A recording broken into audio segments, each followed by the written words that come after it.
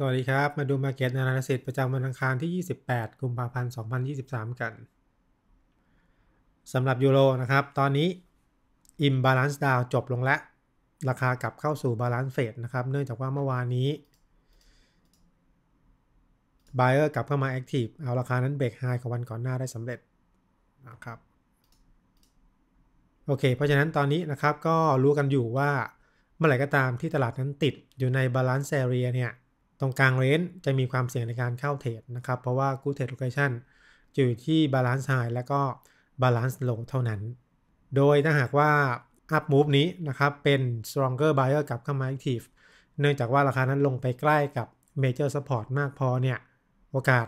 ก็จะสูงนะครับในการที่ตลาดนั้นจะเบรกเอาออกจาก Balancing Area นี้ แต่ถ้าเบรกได้เนี่ยมีโอกาสสูงเช่นเดียวกันที่เซลเลอร์จะกลับเข้ามา Active โดยเฉพาะอย่างยิ่งที่ Resistance Zone นี้ 06983 ถึง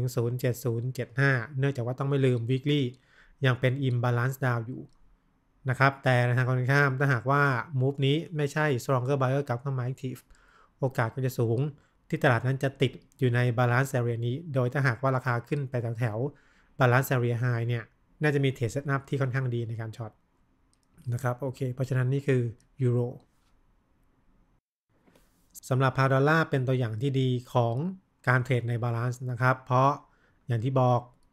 Good Trade Location คือ Balance High และ Balance Low เวลาที่ตลาดนั้นติดอยู่ใน Balance Area เพราะฉะนั้นเมื่อวานนี้ราคาลงมา test Balance Low buyer ก็กลับเข้ามา Active ค่อนข้างชัดเจนเอาราคากลับ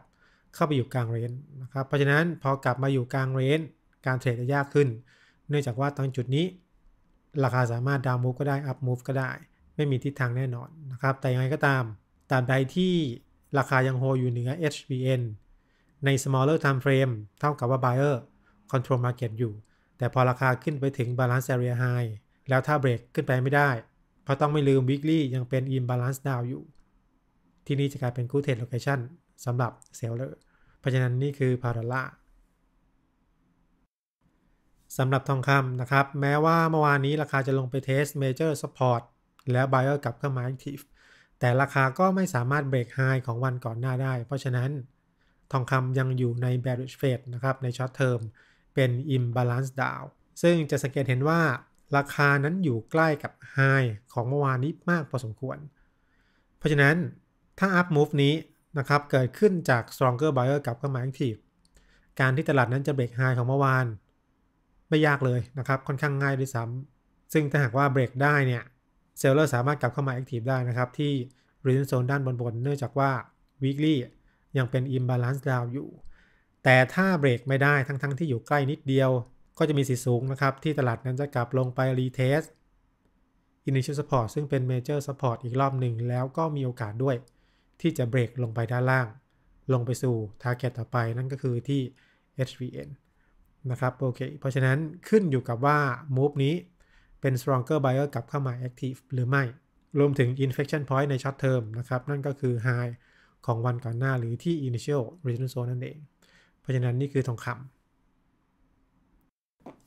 สำหรับดาวโจนส์เหมือนกับยูโรนะครับ เนื่องจากว่า buyer กลับเข้ามา active เมื่อวานนี้ตอนราคานั้นลงไปใกล้ ๆ กับ major support จากนั้นเอาราคา back กลับขึ้นไปแล้ว break high ของวันก่อนหน้าได้สำเร็จแล้ว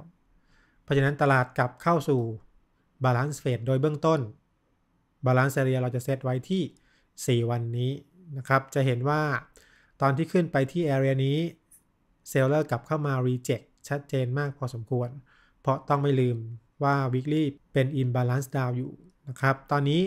ราคาเทรดอยู่ตรงกลางเรนพอดีเป๊ะ เพราะฉะนั้น area แถวนี้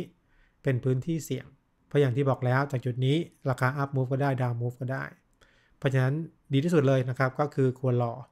รอให้ราคานั้นวิ่งไปที่ Good Trade Location ไม่ว่าจะเป็นที่ Balance High และหรือ Balance Low นั่นจะปลอดภัยกว่าในการเทรดสำหรับดอโจนโอเค เพราะฉะนั้นทั้งหมดนี้นะครับ คือ Market Analysis ประจำวันนี้ ยังไงก็ตามก็หวังว่าจะมีผลงานการเทรดที่ดีเหมือนเช่นเคยสำหรับวันนี้ขอบคุณครับ สวัสดีครับ